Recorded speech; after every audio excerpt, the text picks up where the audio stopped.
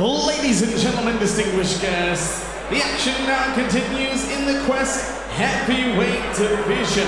So please be hands together for our first fighter to enter the arena from North Wales. Please welcome Steffan Khaled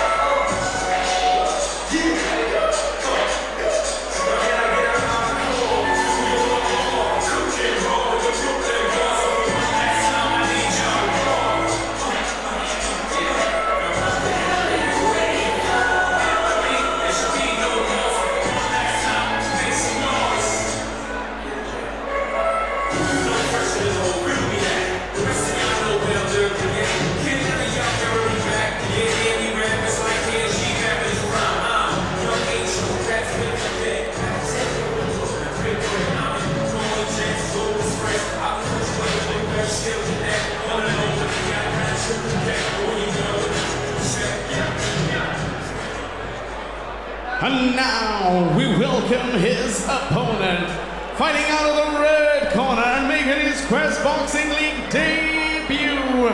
Please make some noise and welcome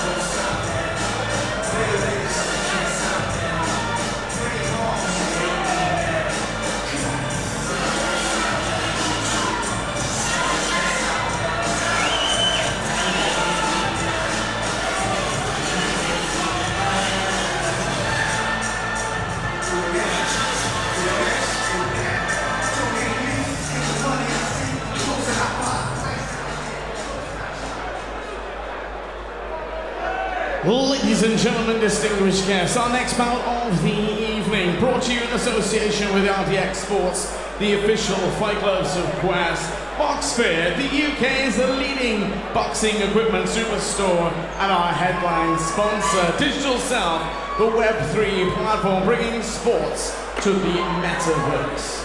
So introducing then our first fighter, standing in the blue corner, all the way from North Wales, making his Quest debut tonight. Make some noise and welcome Steffan Khaled Hughes. And introducing our second fighter, standing across the ring in the red corner, tonight representing Camberley Boxing Club in Surrey, making his Quest Boxing League debut. Make some noise and welcome Luke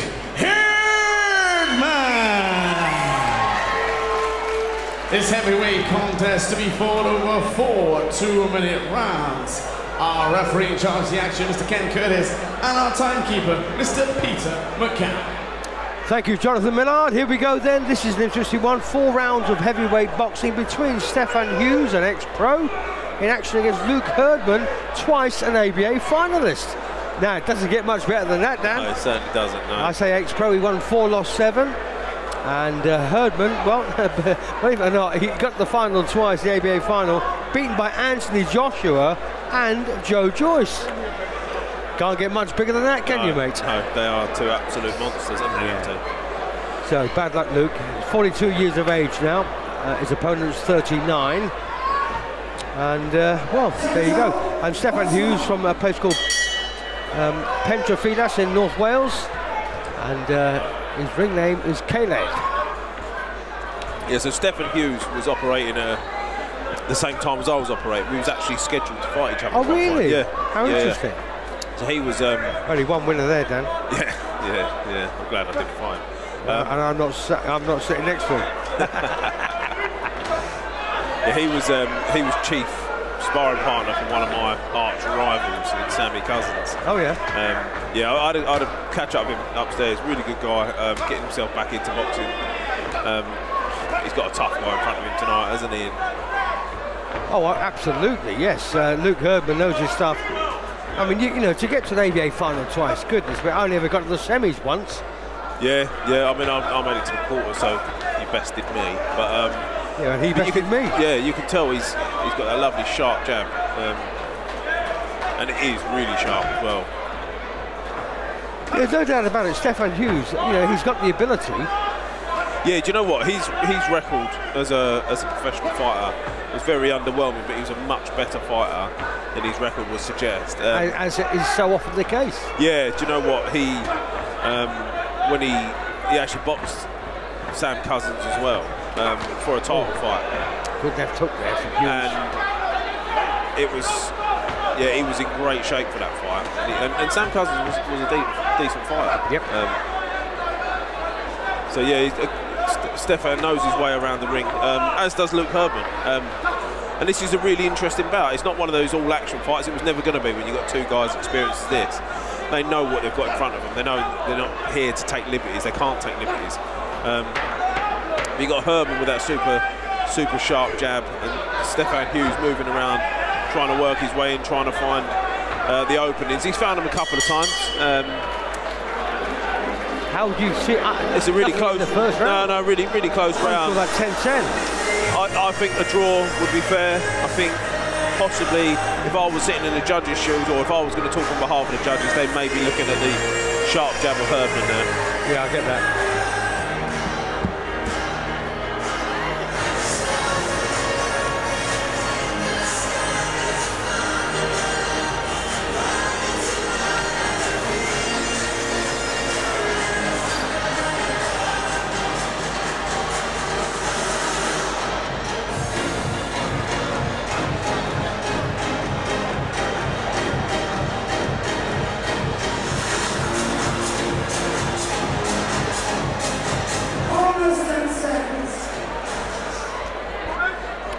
So here we go then for the second session of a scheduled four.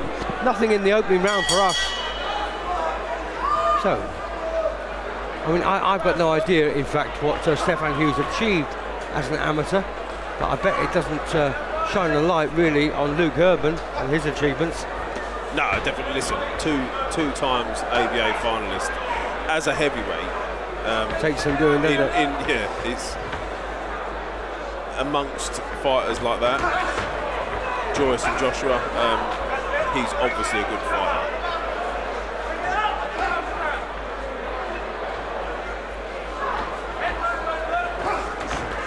That's good work there from Steffan Hughes. And that's that's the sort of the, the wily the wily character he is. Like Yeah. with that, throw a couple of shots. Them shots he wasn't worried about landing. It was the shot round the back that he wanted to land. Well, he certainly knows what he's doing, doesn't he, Steffan? Yes, yeah, definitely does. But having said that, so does Luke.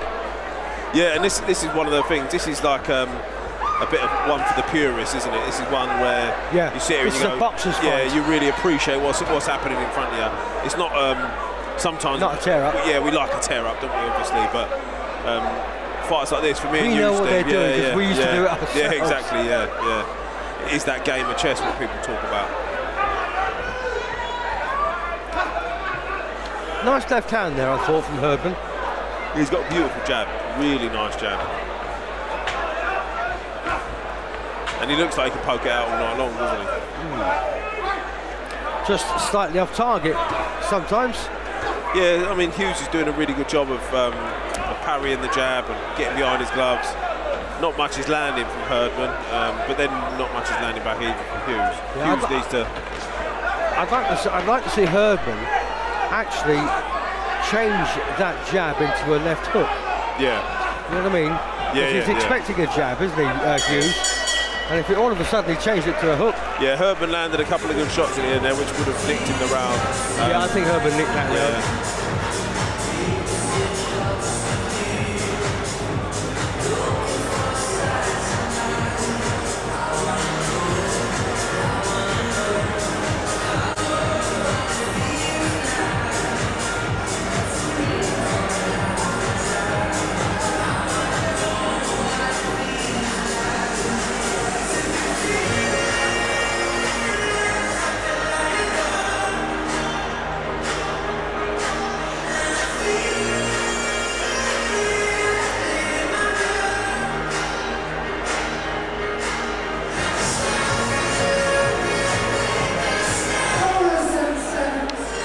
Halfway point, round three.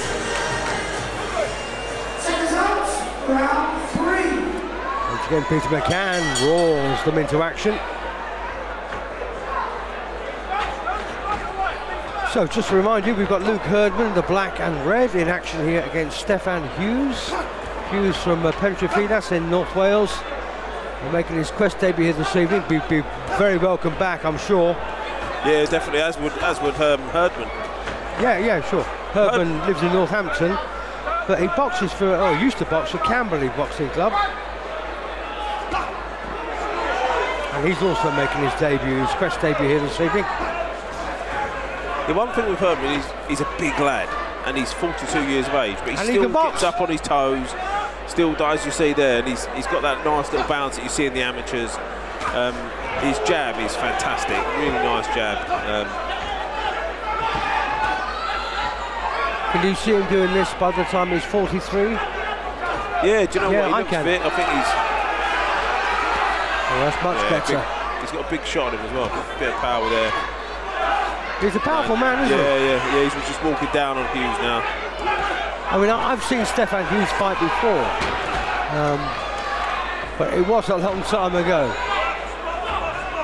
Yeah, I think he was. Um, he, he left the program about 10, 12 years ago now, something like that, 10, 11 years ago.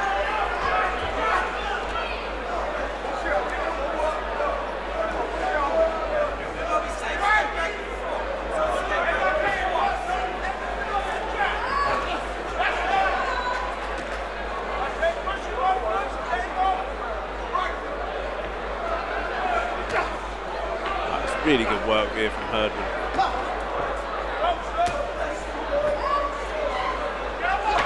Yeah, and this, that's a, this is a testament to how good of a boxer Herdman is. He's um, that first round was pretty close, wasn't it? yeah, it? well, Um, no, I, th- I thought Herdman lost it by a mile, but you know, or a, a, not a country mile by any yeah, means, yeah, you know. yeah. I think, um, and then he got himself back into the last one. Yeah. I've got him in the lead at the moment. I think it's pretty unassailable as things stand. Yeah. There's only a round to go. Yeah, yeah. And two in front. But I don't want to write off Steffan Hughes in any way. No, definitely not.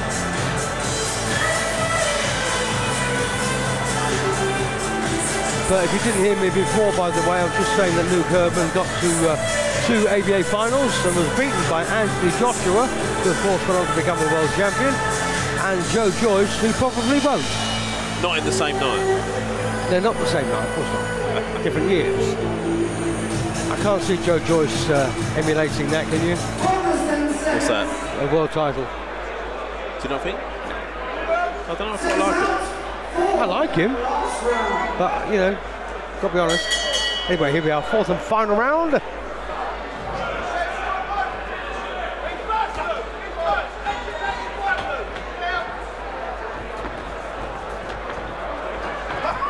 So Steffan Hughes, then the shorter man in the red and white shorts, in action here against Luke Herdman. And uh, after a pretty uh, non-eventful first round, Herdman's gone to work. Yeah. Yeah, he, um, and he has boxed really well, um, really well against the like these. But we can't stress enough how experienced these two guys are. Um, Can I, can I just say something, Dan? Most boxers, pros, will beat, sorry, most amateurs will beat pros over four rounds. Um, good, good amateurs. Yeah, but uh, over a short distance. But you do it over six, eight, or ten, different story.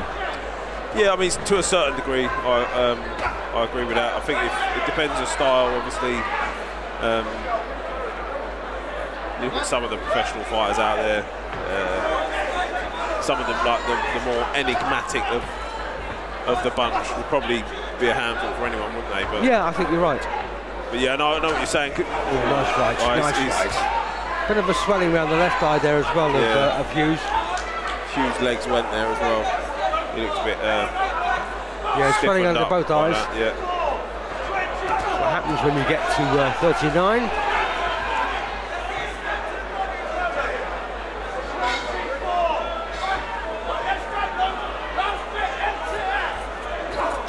Well, there's not a whole lot left now in this final round, and it looks like it's going to go Herdman's way. Yeah, he's, he's boxed a really good fight against a really good opponent in um, Hughes. Well, I think Hughes would be better for the run, don't you?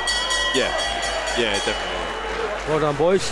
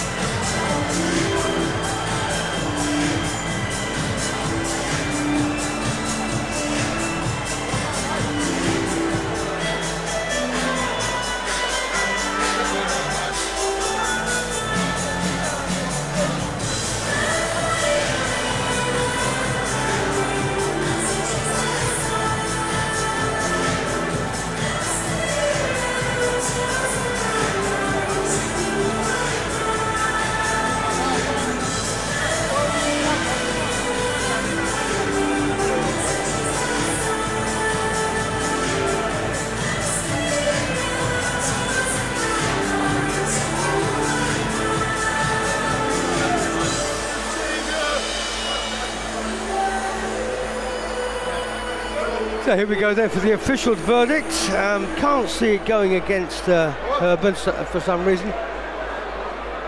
Ladies and gentlemen, distinguished guests, after four rounds of action, we go to our judges' scorecards. With unanimous decision, your winner in the red corner. Yep, Luke Herdman. Luke He had to work for that, didn't he? Yeah, he did. He did. Uh, very tough opponent in Steffan Hughes.